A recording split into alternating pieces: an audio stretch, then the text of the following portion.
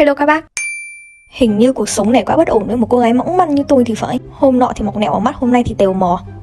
Chả hiểu kiểu gì. Hôm nay bác nào xem clip mà thấy mỏ tôi hơi veo thì hãy bỏ qua đi nhá. Rồi vào công chuyện. Hôm nay đồ nghề cực kỳ nhiều luôn nha. Mà nay tôi cũng phải chạy xuống phòng khách quay để có không gian rộng hơn. Trước khi vào nghịch thì tôi sẽ phải đập hộp cái này trước đã. Tôi mua một kiện màu với một vài thứ lặt vặt mà tôi cũng chả nhớ tôi mua cái gì. Đầu tiên cầm cái gói này tôi cũng không biết là cái gì. Sau khi khui ra thì tôi phát hiện ra là lúc đấy tôi đã đặt một tập Gọi là tập mà giấy vàng như thế này này. Tôi nghĩ là chắc nhiều bác biết cái giấy này để làm gì đúng không? Khi này người ta hay dùng keo hoặc nước để dán lên trang trí một bề mặt nào đó. Nó rất dễ vụn mà bám rất là nhanh. Nhìn nó lóng lánh óng ánh như cái lát vàng thật đấy Nhưng mà không phải đâu các bác ạ. Hừ, tiền đâu mà tôi mua một sấp vàng như thế? Đây, nhân vật chính trong cái kiện hàng của tôi chính là cái đống màu này. Các bác có nhớ trong cái clip mà tôi làm bông hoa hồng bằng máy sấy ấy Thì tôi bảo có một cái màu gọi là màu alcohol ink Màu đấy nôm na là cái màu tạo hiệu ứng loang bề mặt. Tôi thấy màu này khá phổ biến cho những bác nào mà hay làm đồ handmade. Nhưng mà hôm nay tôi sẽ không sử dụng cái màu này để vẽ hay là để làm đồ handmade Mà tôi sẽ sử dụng nó để thử làm tranh thủy ấn. Sau khi lắc lắc cái kiện hàng thì tôi phát hiện ra còn một cái gói nhỏ này nữa. Không biết cái gói này là gói gì. À cái này cũng là vàng để trang trí, là các bác có thể dùng bông tăm, rồi các bác chấm vào cái bột vàng này, rồi di lên bề mặt mà các bác muốn trang trí, thì nó sẽ tạo ra hiệu ứng trắng gương màu vàng ấy. Cái này tôi thấy trong làm móng thì người ta dùng nhiều hơn. Đó, lúc mà di ra tay thì nó cũng óng ánh óng ánh, bóng bóng thế này này. Hay ho phết nhưng mà chắc hôm nay tôi chưa dùng đến. Rồi, hôm nay tôi ngựa ngựa sắm thêm bảng canvas để nghịch nữa. Mấy cái bảng này thì à, có kích thước gần như tờ giấy A4 luôn. Mua hẳn ba bảng để đấy để phòng có lúc dùng đến. Thêm một vài tờ giấy phòng hờ nếu cần nè. Và để bảo vệ đôi tay ngọc ngà thì tôi đã sắm thêm găng tay y tế. Thấy còn con cá gỗ này cũng lôi ra nghịch luôn. Thêm một chiếc bay nhỏ nhỏ và một cái bút. Như tôi vừa mới tiết lộ thì hôm nay sẽ nghịch tranh thủy ấn. Mà gọi là tranh thủy ấn thì không thể thiếu nước được rồi. Để cho thoải mái thì tôi sẽ lấy luôn cái thùng này để lấy nước.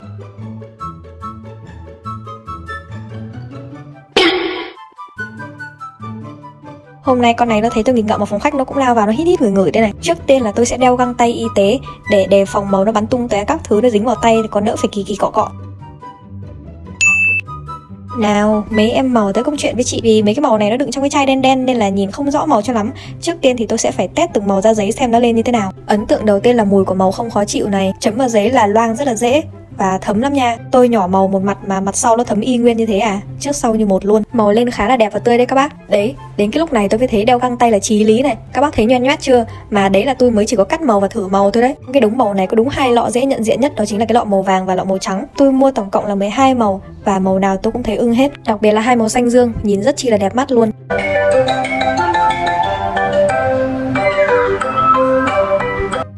Đó, các bác vừa thấy clip không? Trong clip mà tôi tìm được thì tôi thấy người ta cứ nhỏ màu vào nước, lấy dụng cụ gạt qua gạt lại để tạo hình rồi ỉn giấy lên. Thế là được một bức tranh thủy ấn. Hồi năm nhất đại học thì tôi cũng có một bài học về tranh thủy ấn Nhưng mà đợt đấy là tôi dùng màu sơn dầu Tôi không biết màu này lên thì có được như thế không Nhưng mà thôi tôi cứ đánh liều tôi thử Tiêu chí là gì? Tiêu chí vui là chính, sai thì sửa Ban đầu tôi đã thấy nó không được uh, giống như trong clip rồi đấy. Trong clip tôi thấy màu nó gọn gàng lắm mà Nhưng mà trong này màu nó cứ chạy chạy. Nhìn thì cũng đẹp nhưng mà không biết lúc in giấy lên thì như thế nào. Khi tôi cũng bắt trước tôi lấy kia à, đuôi bút để tôi gạt gạt gòi xong khúc này nín thở để mà thả giấy vào nước đây này.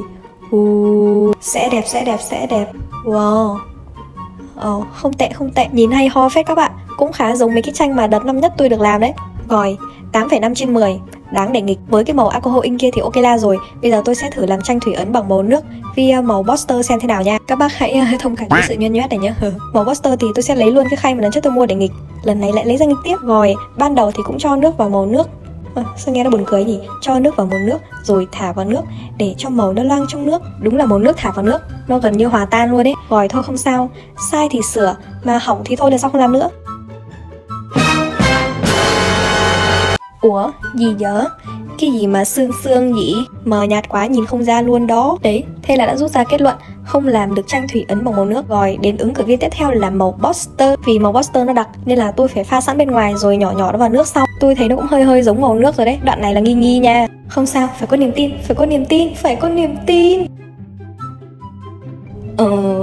nó xấu thiệt, xấu hơn cả màu nước nữa. Ừ, thôi dẹp hai màu kia được rồi đấy.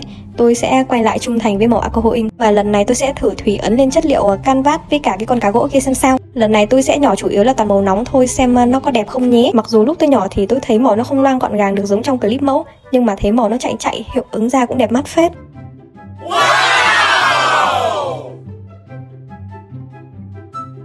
Đó, các bác có vừa nhìn cái màu hồng nó loang vòng ra một phát không? Nhìn thích nhở? Cái màu vàng ban đầu tôi nhỏ có vẻ như nó bị hòa tan rồi Nên là tôi sẽ nhỏ thêm vài giọt nữa Thêm màu trắng nữa cho nó có màu này màu kia. Sau khi nhỏ xong hết màu rồi Thì tôi quyết định lấy một cái lá vàng rồi ờ, cho nó vụn vụn thả vào đấy. Ờ nhìn cho kia tranh ờ, của mình cho nó sang đồ đó kiểu ờ, vàng vàng đại gia hoàng gia các kiểu. Kỳ sau thấy nhiều màu nóng quá nó lại hơi thiếu thốn Thế là lại nhỏ thêm vài giọt màu xanh nữa vào. Rồi đoạn này là lại tiếp tục cầu nguyện. Trời ơi, trời ơi, cứu tôi, cứu tôi, cứu tôi trời ơi, chết tôi trời ơi. Hả? Vàng của tôi đâu? Màu của tôi đâu? Sao trôi gì mà trôi sạch sẽ vậy má? Tức cái lồng ngực ghê May mà lau đi vẫn còn tái sử dụng được chứ không đúng là Lại rút ra thêm được bài học nữa Làm tranh thủy ấn bằng màu alcohol ink Thì không ăn được trên chất liệu canvas Tĩnh tâm, tĩnh tâm rồi làm tiếp Tiếp đến là con cá gỗ này đây chất liệu của con này thì cũng khá dễ ăn màu đấy nhưng mà không biết lên đây thì thế nào vì con cá nó sống ở dưới nước mà ở dưới nước thì nhiều màu xanh nên là tôi sẽ nhỏ chủ yếu là màu lạnh nhá nhìn màu này loang loang đẹp mắt phết đấy trời ơi mong lên con cá nó cũng được như thế tất cả đã sẵn sàng. Yo, xuống nước đi.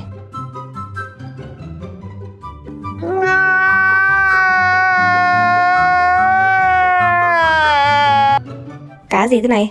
Cá ươn ở rơi. Ừ, Xấu dữ. Xấu điên đảo chúng sinh xấu muốn đáp luôn cá gỗ này đi. Thôi, màu alcohol ink chỉ làm thủy ấn ở trên giấy thôi các bác ạ.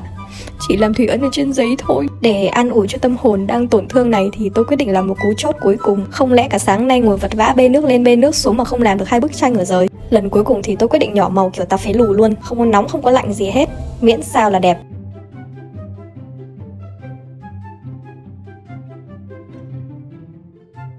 Lúc này ỉn giấy xuống thấy màu nó in vào mặt sau là biết là màu nó đã ăn rồi đây này. Ui rồi cuối cùng tâm hồn tổn thương của tôi cũng đã được xoa dịu rồi các bác ơi.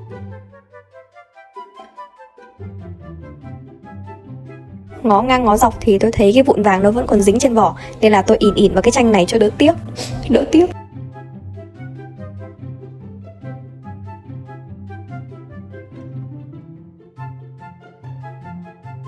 Rồi, bây giờ hãy soi lại thành quả của một buổi sáng nào. Thôi, ba cái đầu coi như vứt đi Vứt đi vứt đi. Thêm con cá gỗ này nữa, vứt đi nốt. May mà cứu vớt được hai quả tranh nhìn cũng ra gì. Nào tôi sẽ để co lại phòng rồi đóng khung hai cái tranh này lên làm trang trí vậy. Câu chuyện vẫn chưa dừng lại các bác ạ Vì còn một đống này để dọn dẹp nữa đây. Hey, thật là một clip nhiều sự bất ổn quá đi Nếu thấy video này hay ho thì nhớ like và chia sẻ cho tôi nha. Đừng quên bình luận bên dưới một số tip hay ho mà các bác muốn tôi làm. Nhớ nhấn theo dõi để mỗi lần tôi ra video là các bác liền ngay về tôi nha. Love you,